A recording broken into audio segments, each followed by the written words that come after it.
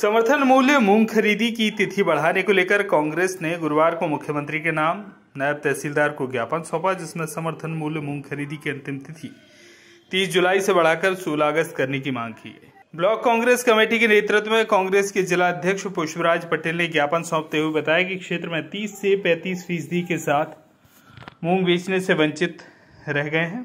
अभी तक बड़ी संख्या में किसान समर्थन मूल्य पर मूंग का वितरण नहीं कर पाए, क्योंकि वर्तमान समय में धान की बौनी अत्यधिक बारिश होने मूंग खरीदी केंद्रों का रास्ता खराब हो गया। कई कारणों के चलते किसान केंद्रों पर मूंग लेकर नहीं पहुँच पाए। अब कई तकनीकी समस्याएँ आ रही हैं जिससे स्लॉट बुक नहीं हो रहा है। इसे लेकर ज्ञापन दिया गया जिसमें मूंग खरीदी की तिथि 16 अगस्त करने की मांग की गई। ज्ञापन देते समय जिला अध्यक्ष पुष्पराज पटेल के साथ शरद चौधरी धर्मेंद्र सिंह नागवंशी समेत कई लोग मौजूद रहे।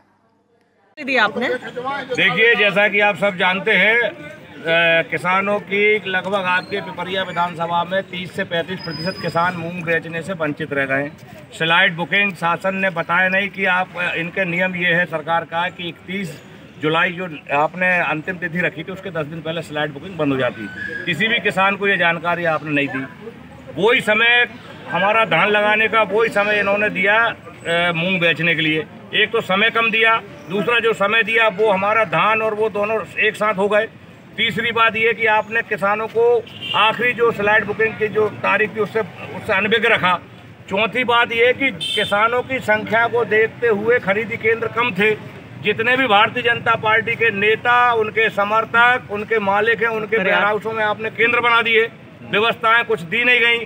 कलेक्टर साहब के आदेश स्पष्ट थे कि जिन वेयर हाउसों में ट्रैक्टर सीधा अंदर चला जाए उन वेयर हाउसों को पहले बनाओ। बहुत सारे वेयर हाउस आप अभी चेक कर लें। मेरा आरोप है, केवल इन्होंने भाजपा नेताओं के आदेश का पालन करते हुए उनके केंद्र बना दिए, जिसके कारण आज किसान दर दर भटक रहा है। न पानी की व्यवस्था, न बरसात में सर छुपाने की व्यवस्था। कोई व्यवस्था नहीं है, कहीं कंप्यूटर ऑपरेटर नहीं है, कहीं बारदाना नहीं है, कहीं सुतली नहीं है, कहीं कुछ नहीं है। जिस तरीके से ये खरीदी चल रही है, हम निवेदन ये करने आए हैं कि 15 अगस्त तक स्लाइड बुकिंग खोली जाए।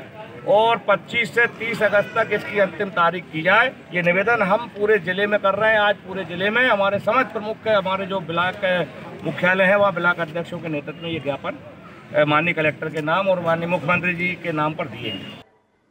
पिपरिया से पंकज पाल की रिपोर्ट।